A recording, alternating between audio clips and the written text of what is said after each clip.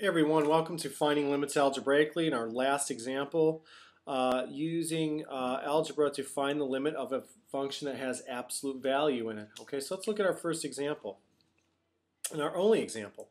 So find the limit of this function. The limit as x is approaching 5 of the absolute value of x minus 5 over x minus 5. So you can do these graphically and, and what's going to happen here is you're going to look really at a piecewise function, but we're going to try to do this algebraically. Okay, so let's go back and think about what the definition of the absolute value of x minus 5 means. Well, it means that it's going to be x minus 5 if x minus 5 is greater than or equal to 0, which means that x is going to be greater than or equal to 5.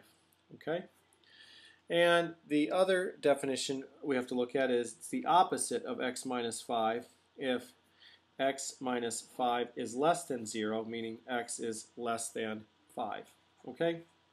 That's our definition of this absolute value. So what actually happens here is we need to rewrite our limits, and we've got to consider two limits here. You're going to consider the left-hand limit, x the limit as x is approaching 5 from the left, that's what that minus sign means, of our original statement, of our original function there, so this, okay?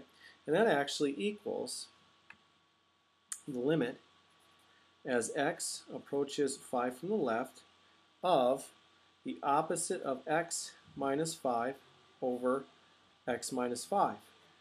Okay?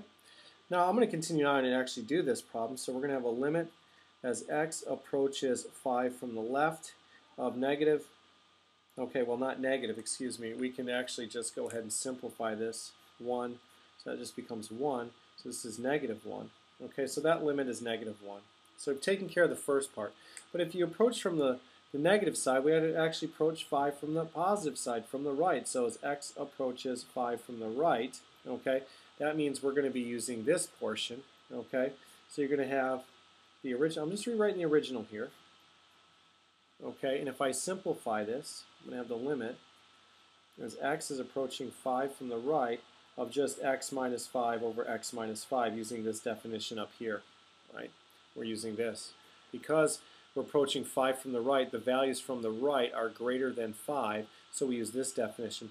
Here we use the opposite because approaching 5 from the left, we're going from like 0, 1, 2, 3, 4. Those values are all less than 5. We're using this here. So I go back down. I'm like, well, the same thing over the same thing.